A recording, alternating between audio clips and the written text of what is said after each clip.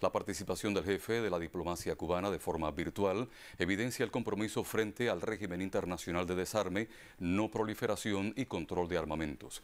El martes 23 de febrero, el canciller cubano participará también de manera virtual en el segmento de alto nivel del Consejo de Derechos Humanos en su periodo de sesiones 46.